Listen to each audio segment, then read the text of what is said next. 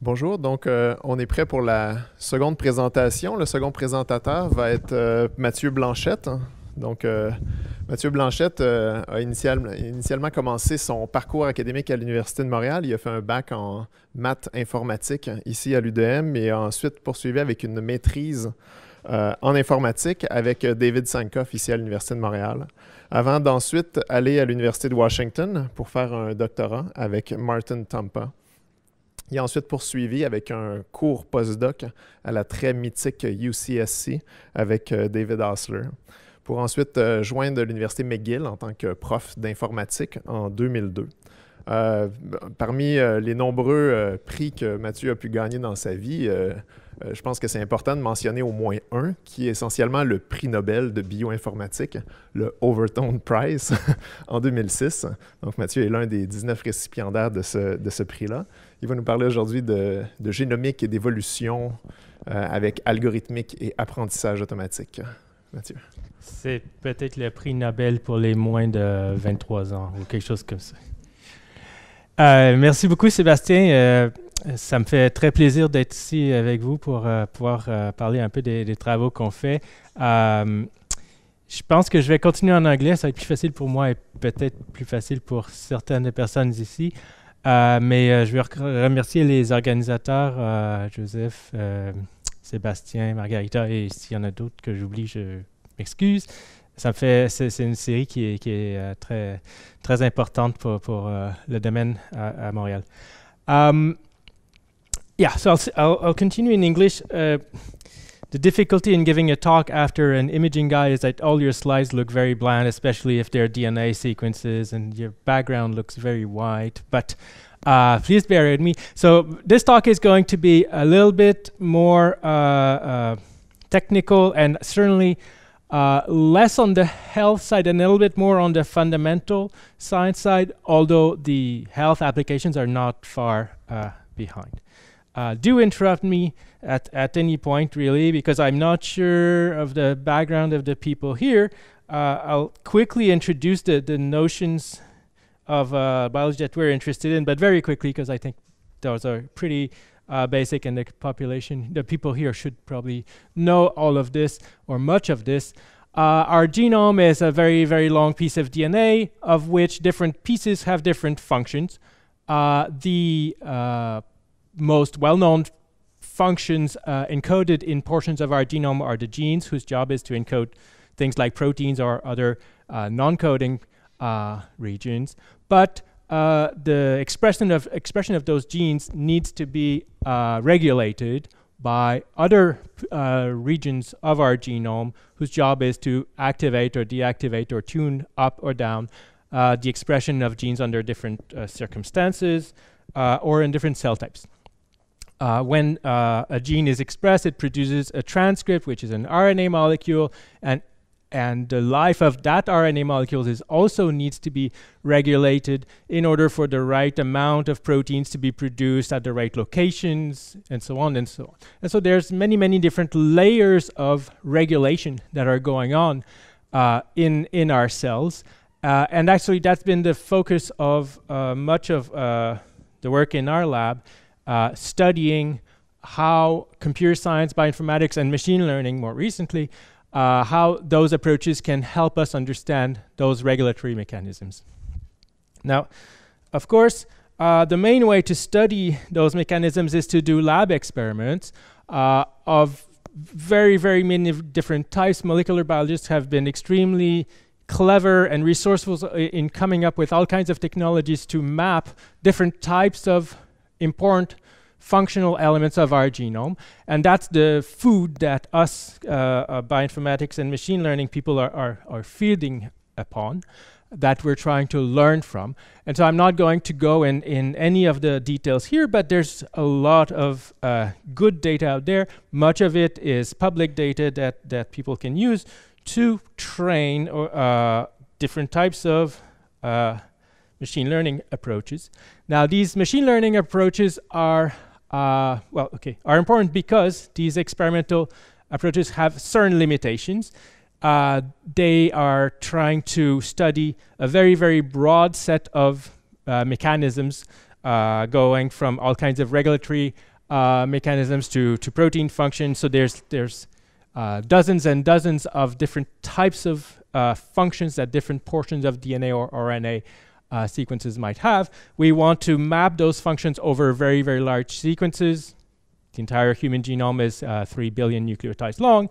Uh, those functions might be cell type specific, so what we see happening in, in a neuron might not happen uh, or might happen differently in a muscle cell. Uh, and uh, maybe that's the killer of all of these challenges, is that we all have different genomes, uh, slightly different genomes, and so uh, even though we might study a particular process in a certain cell type, that might not absolutely translate to each of us. And so if we had uh, a computational approach to look at anyone's genome and be able to make predictions about a function or about the change of function caused by a mutation, uh, or if we had these, if these approaches were sufficiently interpretable that they could actually generate hypotheses that can be tested in the lab, then we would be better off. Uh, we could spend a little bit less money doing experiment uh, and learn more out of them and maybe generalize better. So that's uh, the rationale for the kind of work that we're doing. The type of question that uh, I'm going to be discussing today is a very generic, generic kind of uh, bioinformatics question. Uh, it's the following. I call it the sequence to function pre uh, prediction task.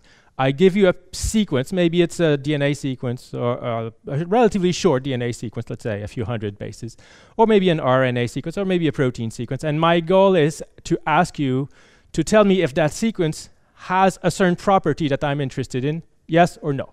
Okay, so it's a binary classification problem. Uh, I, I give you a piece of DNA and I ask you, will this piece of DNA be bound by a particular transcription factor in a particular cell type?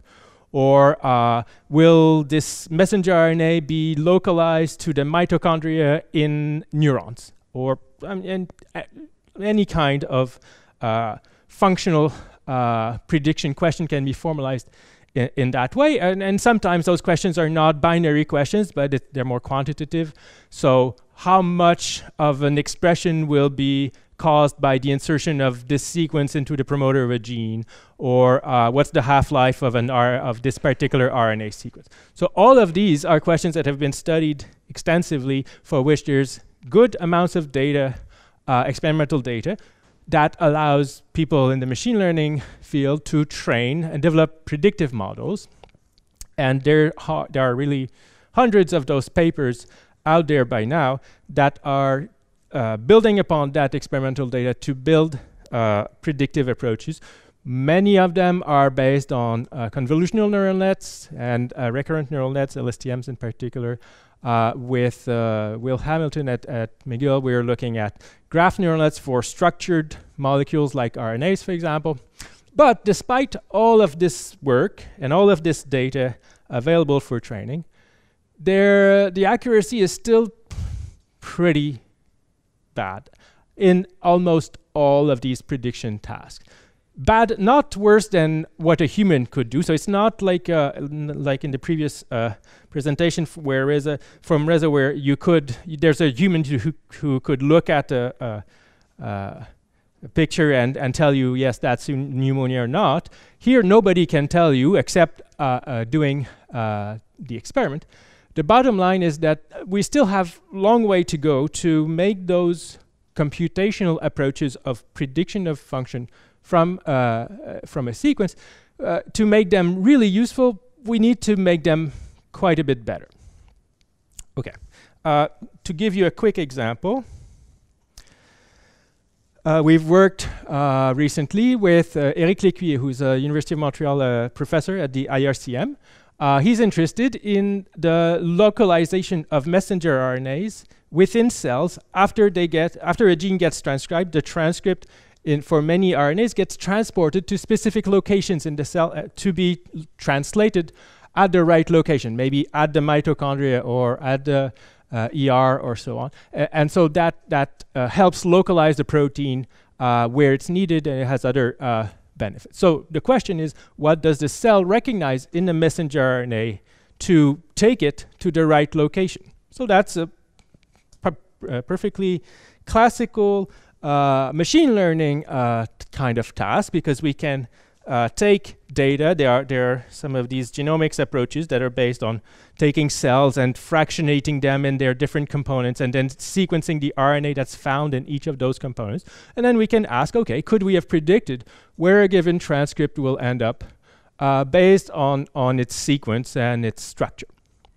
Okay, and uh, we've developed, uh, so here's a, a little architecture that my student uh, Zichao has uh, developed. And it's a pretty classical uh, uh, architecture in this field. Uh, uh, convolutional neural net, uh, a few layers of convolutional layers, an LSTM to integrate information from across the sequence, an attention layer, and you stack them together. You, you do that in some moderately clever way, and you get some moderately good results, good enough that you can publish them, but that's but maybe not good enough to make much else out of it. So for example, this shows you each dot here is a gene. Along the x-axis, you have the location or how much of that gene was found in a particular location in the cell, uh, whereas uh, the y-axis is how much it was predicted uh, or what, what the, the predictor uh, predicted would be the localization. And you'd like that to be a perfect correlation, and there is some correlation, but it's not really that good. Okay, so that's not really what I want to be talking about. What I want to talk about is why there it's not so good and what can we do to actually make it better. Um, and the main reason it's not that good is that, as you know, uh, these deep learning approaches, they need a lot of training data to be able to learn sophisticated concepts that they can then apply uh, successfully to, to new data points. And in this field and in biology in general, data is, is not cheap and in many cases, data is available in finite amount, and no matter how much you spend, you will just never uh, uh, have more. In particular, so if we look, for example, uh, at the problem of uh, predicting the subcellular localization of RNAs, well, in the human genome, there are 20,000 uh, genes, let's say. So we'll have 20,000 measurements. We will never have more because there's just not more genes uh, in, in the human genome. Uh, and if our goal is to predict a particular type of localization, something really, really uh, precise, uh, we might, and, and we do have cases of some things that we're really interested in, but we only have 10 examples, 10 genes that exhibit a particular localization pattern. And so that's never going to be enough to train any kind of deep models. So the question is, what can we do about that? and I'll try to answer that or provide some some elements of answer now. Okay, and once again, yeah, so these limitations are not, it's not about spending more money acquiring data, it's just that this data does not exist, at least it doesn't exist within the human genome. Okay, now um, we'll play a little game to try to make a point here. Um, the point that I'm going to make is that the data that I've been talking about until now, I will call it static data. It's a snapshot of what humans are today. And it's static in contrast to what I'll tell you in a second. But to make the point about, uh, and just for fun, uh, so here's a static picture of some coral reef or something like that. And uh, if I ask you, okay, what do you see in this picture? Uh, well, okay, there are certain things you recognize. There's this big red fish there, and there's some coral heads and so on. Uh, but there are some things that are much easier to do. Let me see if I can start that. Uh, it's much easier to do if you see this uh, picture in motion over time. You see that certain things start moving in ways that were unexpected when you're just looking at it from a static uh, angle. Okay, so uh, we're going to try to take advantage of this. The point that is that uh, by, by watching something that we want to understand evolve over time, we might be able to do a much better job at understanding what it is that it does, what, are, what is it that we're looking at. Uh, and, well, okay, how are we going to do that with genomes? We cannot look at the genome evolving over time. We could do that, but it would take a long, long time before we would see enough action. But what we can do is look back in time and take advantage of the fact that our genome today is the result of uh, so roughly a, a, a billion years of evolution. And if we had the luxury of looking back in time and seeing how our genome became what it is today, then maybe we, we would have something like, like that, that movie that I was showing. So uh, now, fortunately, uh, people in the genomics and evolution uh, community have been sequencing the genomes of uh, many, many uh, species related to humans, in particular vertebrates. Uh, and uh, in this talk, we're going to make use of the first batch of those uh, uh, mammalian genomes that were sequenced in the last 10 years or so. Uh, so there's 59 of those. So and they, they're listed here on the phylogenetic tree here. So uh, this is going to be the start of our attempt to recreate that movie that I was showing you, movie of, of, of DNA sequences evolving in time. And then once we'll have done that, I'll tell you how we can take advantage of that movie to uh, understand function. So this here, it's very small, but it's just a little piece of the human genome. What I'm going to show you is that, well, I told you that we actually now have access to the genomes of 59 other mammals. We can align those genomes to the human genome because they're not so, so different. For example, the human and chimp genomes are 99% identical. The human and uh, dog genomes are, are not that uh, similar, but still similar enough that we can figure out how to align them to each other. And so we can take any portion of the human genome about which we want to ask a particular question and figure out what that portion looked like in all of those other uh, genomes by extracting this out of a big multiple genome alignment. Okay, so from this, there's already a lot of things that we can uh, take advantage of in order to make function predictions. And I'm not going to spend very much time on this, but the the the, the work that people have been doing for the last uh, 30 years, or the, the idea that people have been uh, taken advantage of, is that regions of the genome that are very important tend to be more conserved than those that are not, uh, not uh, or not as important uh, or critical to fitness. And in fact, what you see here is on the left of the alignment, there's a high degree of conservation. On the right, there's less conservation. In fact, the left is the is a, an exon, a very of a very important gene.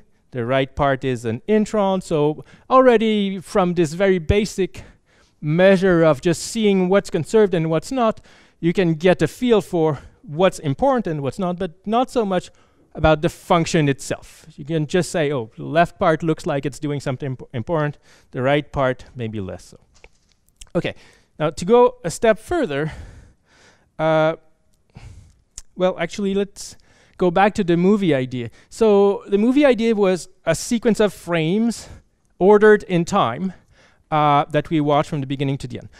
Uh, this here, these are the sequences of a particular region across multiple species. This, is, this does not form a movie because these are not consecutive frames over time. These are, in some sense, they are 59 different endings of a movie that played over a hundred billion or uh, a billion year uh, long movie.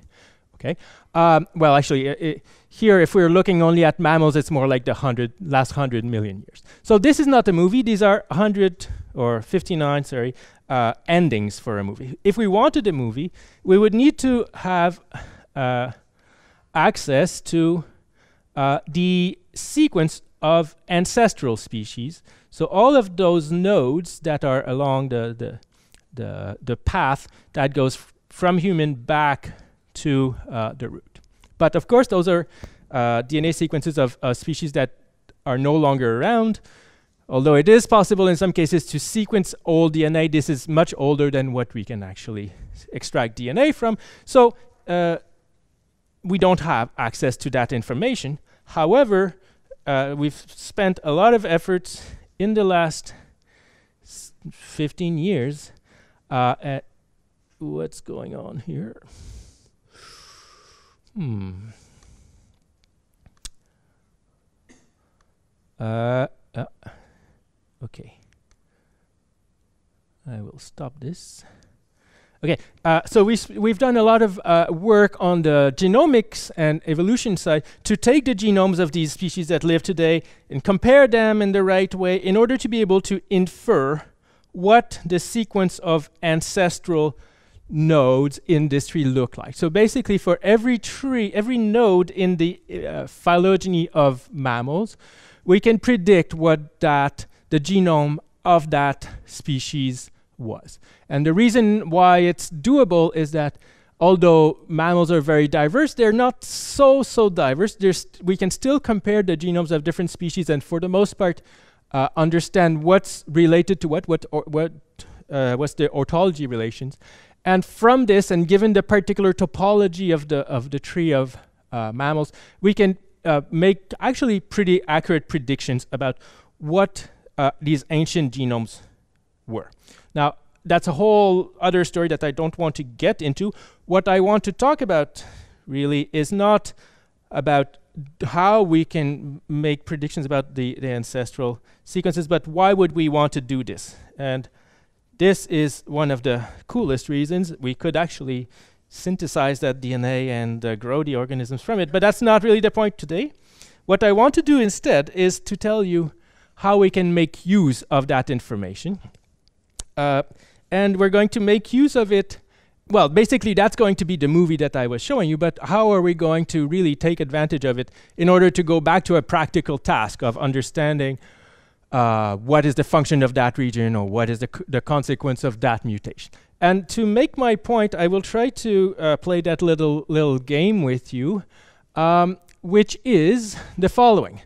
Uh, we're going back to an image uh, analysis uh, task here, and the task is the following. Can you take, look at the picture of a person and, or a politician and uh, predict if that person is a left wing or a right wing uh, person? Okay, and I'm giving you a training set here of five examples. Uh, and this is not, I'm not trying to make sophisticated political points here. Uh, I'm not even sure that my labels are correct, but it doesn't really matter. Uh, from this data, can you recognize what in the picture of a person uh, would allow you to recognize if that person is a left wing or a right wing politician? I'll let you think about it. I pretend that I have not heard anything from you. So, some people are extremely insightful and most of them, hopefully, most of you, would say what I would have said uh, presented with this is that there's no way to answer this question because um, I have too little training data. Okay, uh, if you don't know these people, there's you cannot generalize from uh, only five examples. It could be something about the color of the background or whether they have a, a collar in their shirt or I don't know there's a million possible explanations. Okay, all right. Now this here is obviously uh, the analog of my 10 examples of my 10 sequences that are localized in this particular way, of which I would really like to be able to understand what makes them localized in that manner, but I have too little data to, to be able to uh, generalize. Okay, I'm going to give you more data now. Here's uh, the pictures of uh, ancestors and relatives of the people that I showed you originally. Okay, so now you have a, a dozen people, and um, I don't know what the uh, political uh, allegiance of these people are. Some people I, I might not know, um, but I'm going to assume, and it's not going to be such a bad assumption, that these ancestors and relatives, they probably have the same political allegiance as the few examples that I had, uh, for which I had labels at the bottom. So, uh, although I don't have uh, perfect labels for those ancestors and maybe relatives, uh, I have a, a certain idea. So now that you have more data, now can you tell what it is about a person's picture that allows you to tell if they're left-leaning or right-leaning? And because you gave the answer uh, from the first five examples, uh, and that was the correct answer, I'll let you tell us what the answer is. Okay, so yes. So the, the, the left-leaning politicians are looking on the left side. They're actually it's the opposite, but yeah, that was just to keep you on your toes. Um, so yes, left-leaning uh, uh, looking right, and so on. So um, okay, S uh, so now the point is, with enough data, you would have been able to tell that. Okay, now this is not a, a classical uh, machine learning setting, however, because these examples are related to one another. We cannot assume that uh, uh, an ancestor and its descendant are independent examples. They're not. They're closely related, depending on, on how close they are to each other. And we cannot also assume that an ancestor or a sibling necessarily will always have the same political allegiance as the, the, the original person we're uh, look at. And so that makes for a family of, of machine learning problems that are interesting and challenging. And now I'm going to go back to my uh, my sequence to function prediction task, and I'm going to uh, give two examples, more more uh, practical examples of how we're actually going to uh, make use of evolutionary information in order to improve our ability to make function prediction. The first one is going to be what we call the phylogenetic manifold regularization, and that will aim to train better models by using this evolutionary information. And the second one is going to be uh, uh, aiming at using existing trained models but making better, better use of them by uh, taking again advantage of uh, the data that comes from multiple species. And here's the, the general idea. It's kind of re restating uh, the example we gave before. If I have, I want to learn what distinguishes the green transcripts from the red transcripts in this data set of four examples, there's uh, so many different decision boundaries that I cannot, uh, I would have to be extremely lucky to pick the correct one. But if I bring in uh, the information about re related or ancestral sequences, and if I'm willing to make the assumption that the function of those ancestral and related sequences is unlikely to have changed, then I can, I can increase my, the size of my data significantly and hopefully learn a much better decision boundary that will generalize better. And because we have access to uh, something like, well, actually 120 uh, orthologous and ancestral sequences for each of the human examples, it's effectively boosting the size of our training set by 120-fold. Although we should not really think of it that way because they're not truly independent examples. It's not worth as much as 120 times the data, but it's worth more than nothing, which is what people have made use of this data so far.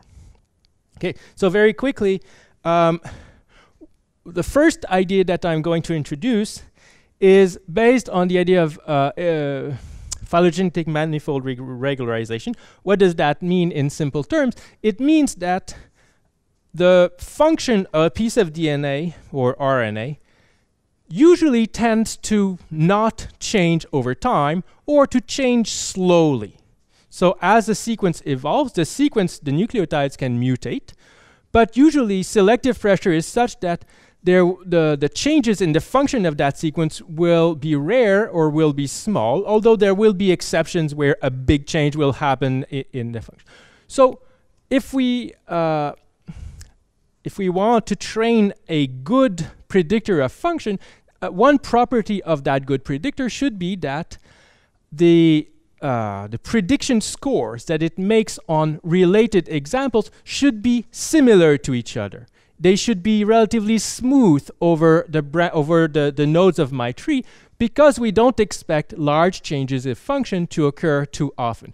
So if we applied a certain predictor to the, the, the sequences in my tree here, and we got the scores that are here, that are numbers between 0 and 1, and we do the same thing on the right, we'll see that on the left, that predictor assigns vastly different scores to different nodes in the tree, which would translate it evolutionarily into uh, this function having changed largely at many, many times uh, in the tree, which would be unlikely compared to the one on the right, where the scores evolve in a more gradual manner, which would be more uh, evolutionarily realistic.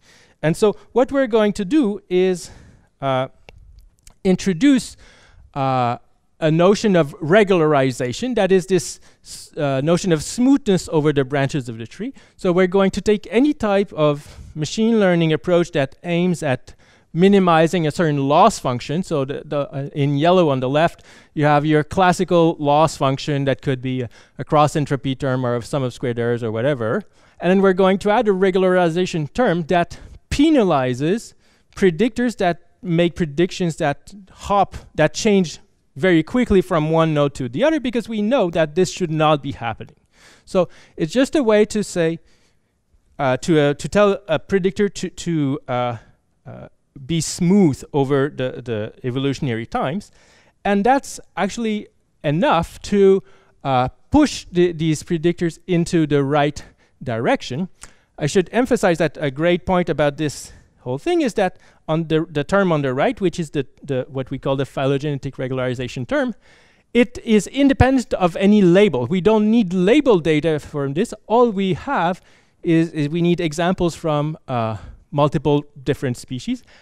And uh, all this is saying is that we don't want the predictions to change too much. It's only the, uh, the part of the loss function on the left that requires uh, labeled data. So when we train, so what, okay, what does that mean?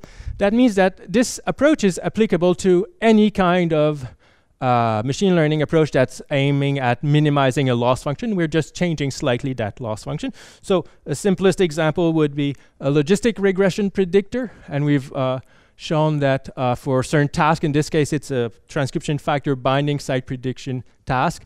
Along the x-axis, you have the standard approach. The y-axis, you have the same approach, but with this regularization term. And you gain uh, a lot in terms of the accuracy of the predictions. Uh, not enough still to make it really, really practical today, but it's by adding multiple of those ideas together that eventually we'll get there. We can do the same thing with any kind of predictor. This is a, a, a convolutional neural net that was proposed uh, a few years back for the same task, and simply retraining it with that new loss function boosts uh, that accuracy. So there's a lot of uh, I mean, it's a very, very simple idea, but it's very uh, attractive from the practical point of view because we don't need to reinvent anything. We are just taking clever ideas of clever architectures that have been shown to work relatively well, and then we're just uh, training it using a lot more data, using that regularization term, making use of 100, bil- no, 100 million years of evolution and selection in order to uh, weed out the better models and the, the, the ones that are less powerful. You have a question?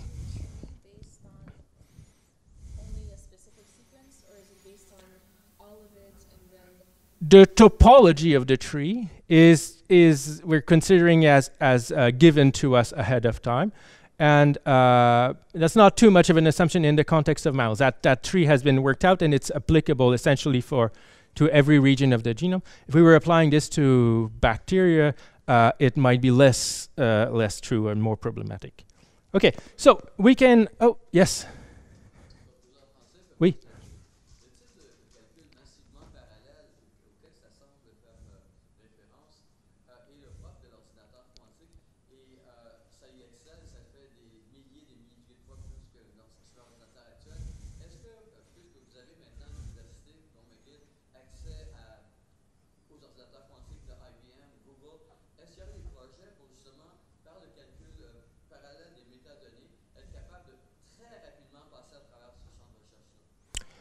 Alors, d'abord, uh, okay, je réponds en anglais. So, so the question is, uh, can we use quantum computers to uh, to speed things up? Uh, and I, okay, my answer, my real answer is I really don't know because I'm. It's quite a different uh, set of skills that are needed to do that. My understanding at this point is that whatever uh, computers exist are still extremely, extremely limited in what they can do today. So the answer today is absolutely certainly not. In 15, 20 years from now? Quite possibly.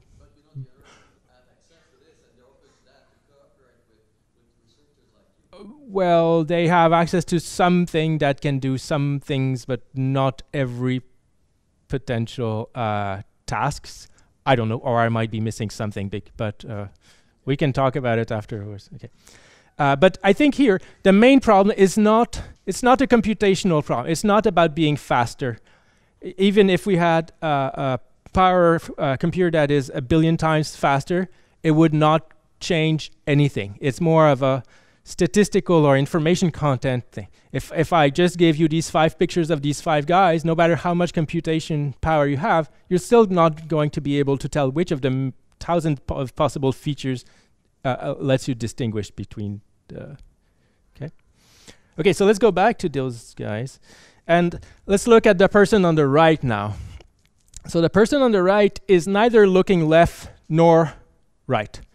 Uh, so if you even if you had a great predictor that you've trained maybe all using the, the, the, the, data on the left and their ancestors, that predictor would be uncertain about how to classify this one example uh, in the middle. Uh, now, the point I want to make today is that if you look at the ancestors of this person, they are all looking right, which means that they would be left leaning. And so if you're willing to uh, assume that most of the time uh, the political allegiance uh, remains the same, then you should make use of the information about the ancestors or the relatives to classify this person. Okay, and so that's what we're going to do here, and I, am going to go pretty quickly because it's it's very straightforward. But suppose that you have a trained predictor for a particular function that you're interested in you can apply that predictor. Let's say you want to classify a human sequence as having a function or not. You apply it to that function. Maybe that's the red node in my phylogenetic tree. That's what I call the uh, target species. And in the example I just gave you, that predictor is uncertain about the function of that sequence. But you also apply it to uh, the sequence of, of uh, the orthologous sequences in other species. You get all of these scores assigned to each of those nodes that correspond to different uh, uh, related species or different ancestors. And now the question is, can you combine all of those scores to improve your ability to determine whether that human sequence is or has that function or not? And uh, here we're just showing a simple probabilistic approach that uh, models the, the changes in those scores uh, depending on whether or not the label of that example is uh, is zero or one. And by doing a simple uh, log likelihood test, we can actually significantly and very easily, once again, very easily uh, boost the accuracy of a pre-trained uh, predictor. In this case, that was our uh, uh RNA subcellular localization predictor. And so, again, a very simple thing. Here, we're not even training, uh, we're not retraining anything. We're taking something out of the box, applying it to not just human sequences, but others, in order to improve by quite a substantial margin. These these gains here that uh, these numbers look small, but they're actually uh, uh well. Every new paper in the field improves by 1%, so getting 3 or 4% improvement is quite significant. And once again, that's still not enough to make it of great immediate practical use, but it's by accumulating these ideas that we'll get there. Um, so Okay, I think I'll skip this. The, so, the, but the the key point about both of the approaches that I've described is that they're they're not reinventing the wheel. They're just applying simple ideas that can be uh, applied on top of existing uh, uh, architectures to simply boost their accuracy, either train better models or make uh, better use of those models. And because the uh, amount of data coming from related species is going to increase and increase over time because more and more genomes are being sequenced, uh, the, these approaches will gain in power at a relatively small cost uh, in, in, terms of, of uh, computational power. Okay, I'm going to wrap up here. Um, the work that I presented is largely the work of two of my uh, students, uh, Faizy Ahsan and Zichao Yan although it's also the result of collaborations with a number of other labs. I'll mention the Doina Precup's lab and François Laviolette, uh, Alexandre Drouin, and, and uh, Will Hamilton in particular. And I will now take questions if there are any. Thank you.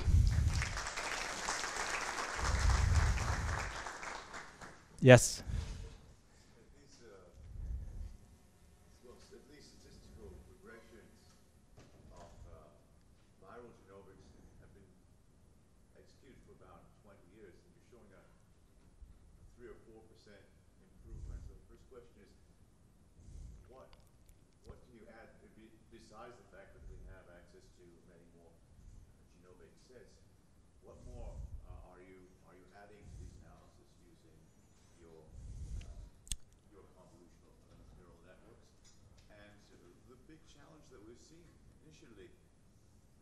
No, no, you good.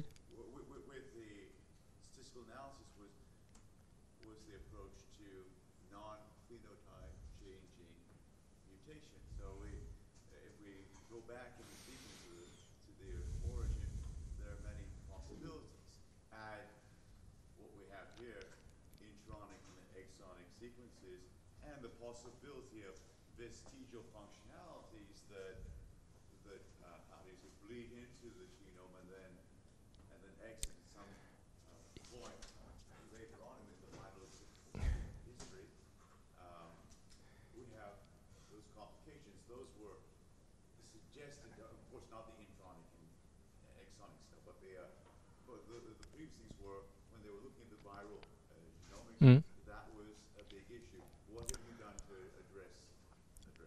What have we done? Nothing clever. We're we've just actually I think the one clever thing we've done is to say and realize, and we're not the first ones to realize that, but to, to realize that uh, evolution is a really, really powerful experiment that's been running for really, really long, and that tells us a lot more than what we're what what we've until now been able to extract from it. So uh, the fact that certain mutations will change a phenotype and many will not is not easy to to recognize when you have uh, when you look at uh, relatively short evolutionary scales. But if you have the luxury of looking at a hundred times more evolutionary time because you have a much bigger tree, then you start to be able to recognize pattern. And then it's not you; it's it's your your your your neural networks that are able to to do that a little bit better and it's it's really just more data but not just more data more data that is a result of selection because the, the the genomes we observe today we observe them because they've survived these 100 million years so they're not a random subset of of sequences they're the result of selection it's and it's by taking advantage of that process that we gain, I think, the, the little bit we showed you. Okay.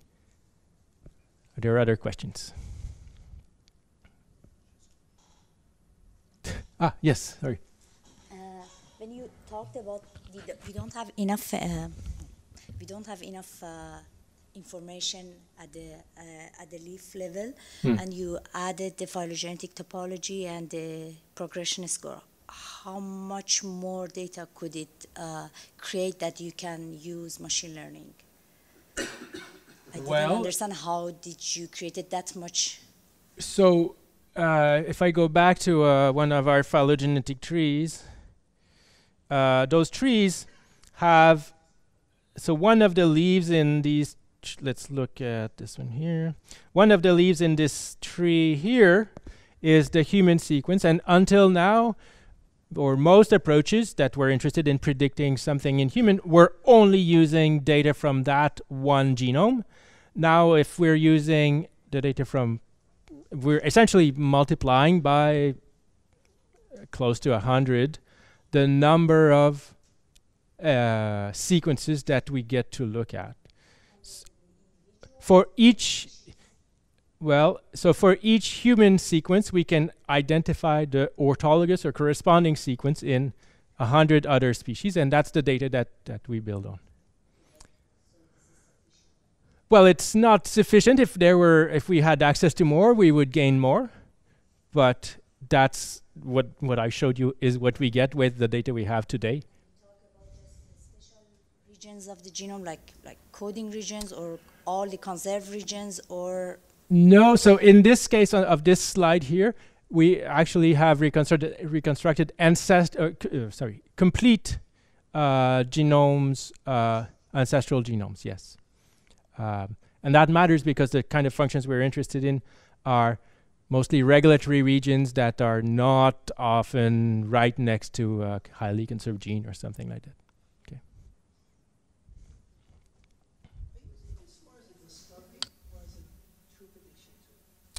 As a discovery tool for now. Uh, so the okay, the question is, are we using this as a discovery? So discovery, I interpret as aiming to understand the mechanisms that are making a certain uh, sequence uh, having a particular function. So that's more what we're interested in at this point. But the the prediction task is uh, mostly of interest for me uh, in the context of predicting the impact of mutations, because uh, that's something that we're still pretty bad at doing, uh, and that would be extremely expensive to do on a large scale experimentally. But if we had a good predictive model, we can say, okay, what's the function of this? Okay, now if I mutate this nucleotide, does the function change? How does it change? If we were able to do that, then we would be able to interpret uh, your own genome and, and tell you a lot more about, about disease risks than we can today. fundamental question. You know when you do well, you also do things in RNA, right? So you don't just do genome. That's right. So when do you get in the analysis? Because as you know, every type of analytic platform is a lot of processing. Actually, a lot of s- time is spent in a lot of standardized normalization. Yep. And one of the questions that you start, so for example, when we address things a lot of time, at least we start after, because that's a whole other bag of worms. But then there's the issues, are we missing things? Because now we are already elim- making assumptions and associations. Do you usually work in the raw, raw data space?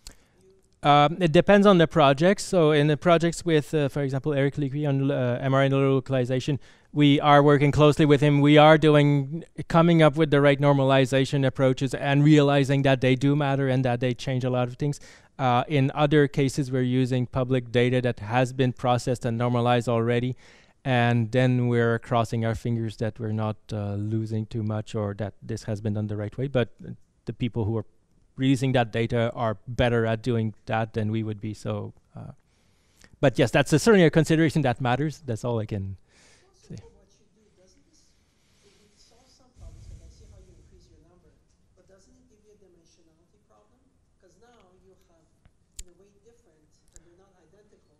So by you increase the number, you could actually multiply your dimensionality, which Mm, is one of the big no, so it's well, so the the objects that we operate on are still sequences of the same type as before. We just have more examples of those. So the dimensionality does not change. It's the number of examples that that does. Right. Yes. I wanted to ask a na- naive question before, and I realize it's probably too naive, but I want to ask But it, and then I want to take it a little further. So the naive question is, wouldn't it be possible to just build a model of the chemistry and try to understand from the chemistry of the DNA exactly what's happening? Now, I realize that that's naive because it's so complex, but is there room for combining the deep learning or the neural networks with such a model to actually get more out of. Yeah, so there is. Um, the main challenge in in uh, doing a physical modeling of a system is that, uh, well, okay, each of the objects are pretty complex objects, but the bigger problem is that we're missing information about many, many of the a- important actors. So. Uh, if we're interested in what localizes a particular transcript to the mitochondria, that involves hundreds of proteins and uh, moving along the microtubule. We're there's so many of those uh, important players that we would be so terrible at at uh, modeling that it it would make the whole thing almost pointless. Except if you can do that on a very very small uh, scale. If you're interested in one protein uh, studying the binding to one binding site, then people do uh, this this uh, this mod- this type of modeling. But on a larger scale, there's there's just too many unknowns in the in the components of the system.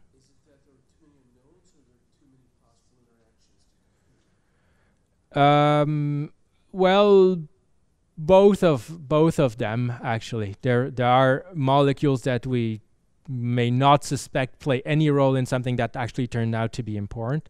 And then there's the complexity issue of, of simulating the evolution of a system that has hundreds of thousands of different objects in it.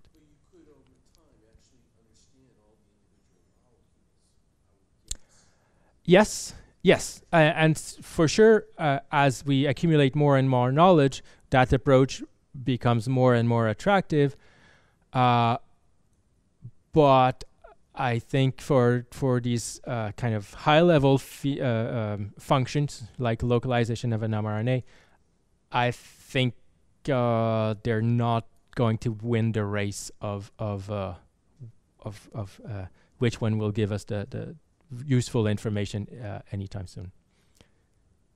But it's not a naive question at all. And and integrating that with the the machine learning approaches could be a really uh, interesting approach, and I, some people are looking in that direction. It would be particularly interesting because it would give you a mechanistic understanding of what's going on, uh, uh, which would be very valuable also. Okay. Yep. Hi. Very interesting. Um, so, considering, um, let's say, the, the data augmentation using orthologs, uh, my question would be more related to the fragments you're trying to classify. So let's say, for instance, on your maybe on your transcription factor binding problem, your fragments would be of a shorter length, maybe 100-ish. Yep. Uh, what if um, you're working on a problem that requires your question on sequence prediction P or your P question is um, of a much longer length? Do you think there will be any effects of using orthologs, uh, that, that type of augmentation approach? Well, that- that so question? that's a very good question. Uh, the more focused your question can be on a particular region, the, the easier the question tends to be. But not every question can be answered or even formulated in this way. Um, so there are uh, certain types of uh, functional questions, like if I'm thinking about the entire regulatory neighborhood of a gene that might include uh, 100,000 nucleotides around it, and I ask, okay, given all of this, how will the expression of a gene react when I give a particular drug or something? That's a question that, i- to answer that question, you would need to look at uh, this entire large piece of sequence and its orthologs, which actually in itself does not pose a, a big problem. We can easily cut out the, the uh, orthologous regions of, of regions of any size. Uh, but it certainly comes with a much bigger challenge on the machine learning side to to tease out the pieces of information that you need from this big chunk of DNA.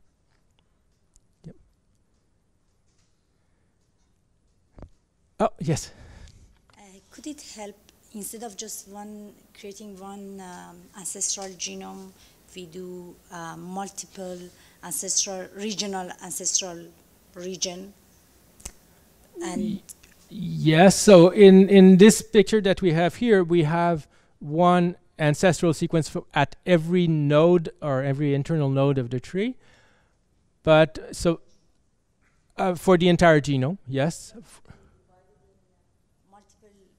conserved region, and we do multiple um, ancestral region, and we will have more trees and more. Well, I'm not sure because the way we're using, so we're first computing a this big alignment, and then we're cutting out little slices that interest us that correspond to regions that we care about. That's how we extract these orthologous sequences from other species.